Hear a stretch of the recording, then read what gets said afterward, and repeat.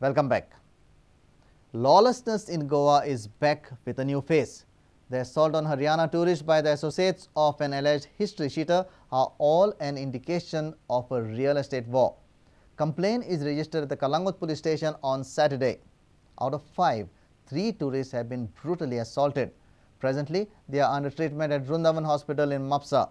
They were discharged from GMC at midnight in an unconscious state. Calangute police informed Prudent Media that four of the Haryana-based tourists are builders by profession. They were clicking some photographs next to the Baga Bridge, an eye-catching area where the assault took place. Haryana registered Swift car is also damaged very badly as the mob pelted stones and hit the car with dandas and iron rods. However, one Nicolo Araujo has been arrested by police. कैसा शहर है, गोवा अच्छा शहर है या नहीं है business भी करते हैं हमें और कुछ भी करते, देखते, अगर होटल लीज वगैरह भी लेते कुछ तो करते, अगर गोवा पसंद आता तो करते। अच्छे परिवार से हम अच्छा हमारा काम अच्छा अच्छा बिज़नेस है, पर ये नहीं हम चोर हो चुके हैं स्पेशल गाड़ी लेके हिसार से यहाँ पे अपनी पर्सनल गाड़ी लेके आए हैं हैं।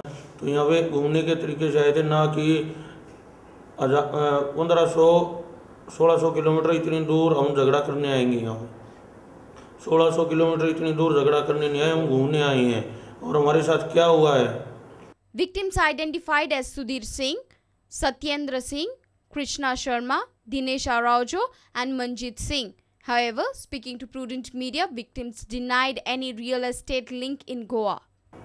तो गोवा सरकार से ये है कि हमारा जो सामान है वो दिलवाए हमको इंसाफ दिलवाए और हमको यहाँ पे अभी भी ढूंढ रहे हैं वो हमारे को वाए हमारे घर तक पहुँचाने का इंतज़ाम करे ये गोवा सरकार से अभी भी जान का खतरा है वो घूमते रहते हैं यहाँ पे मारने के लिए कि तुम्हारे बयान मत दो हमारे पे केस मत करो The way police are trying to cover up the case.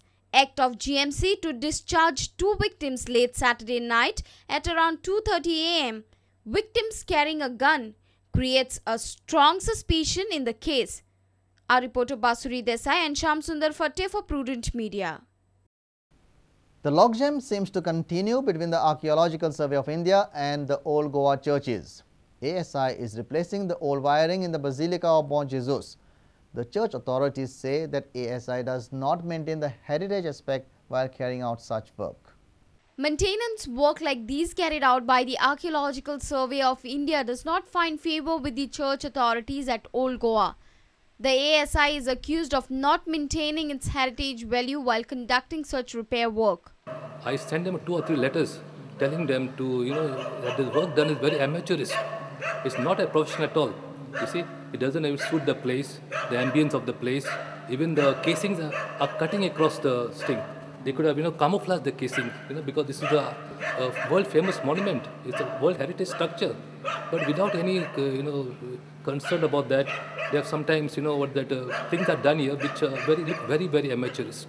So in that sense, I feel, you know, there must be more, uh, more uh, dialogue between the church and the ASI. However, officials at the Goa Circle of ASI refused to comment on camera. They said that the church authorities want to conduct the work in their own way, which is not possible. Our reporter Jason Suarez with video journalist Sunny Narvikar. Government of India is likely to set up an oceanarium in Goa with all its technical and financial support. Goa government has received a proposal for oceanarium from union government.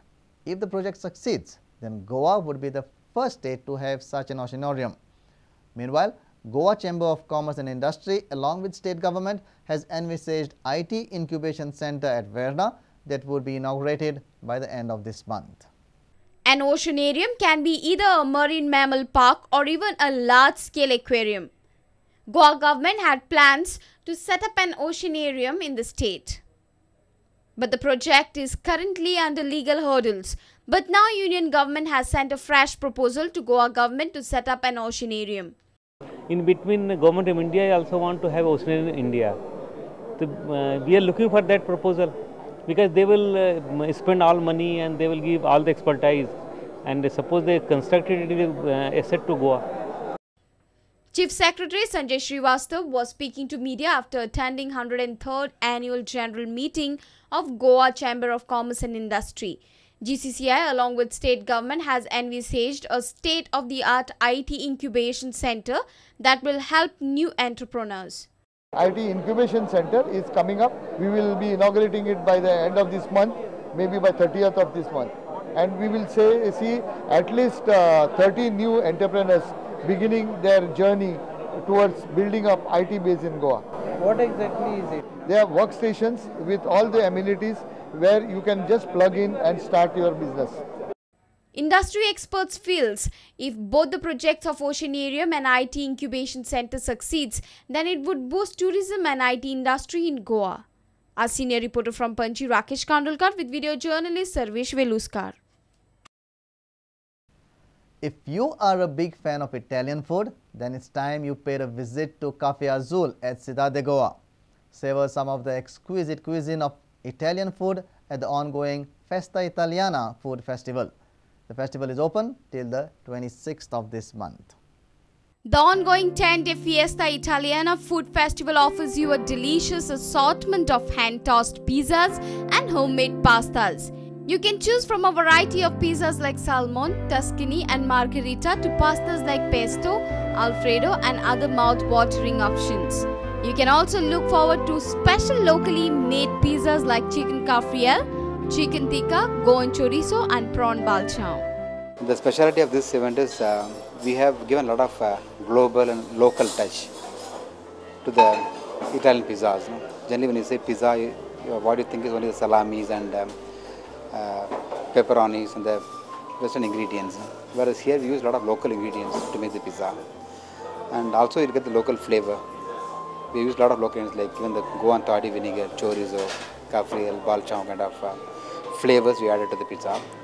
And pasta also is already known here in the cafe but now this time we have added a lot of uh, our uh, house specialties. Uh, something really interesting exciting. I know you all like uh, pasta and pizzas a lot and this time we made something specially for you. So i wish i welcome all of you to come and try our new uh, products here These crispy pizzas are cooked in a special wood-fired oven using specially imported ingredients. Rest assured, the experience will leave you licking your fingers. Enjoy the distinct aromatic flavors of these exciting dishes before the 26th of this month. Bureau Report, Prudent Media. News from sports when we come back from a short break. Stay tuned.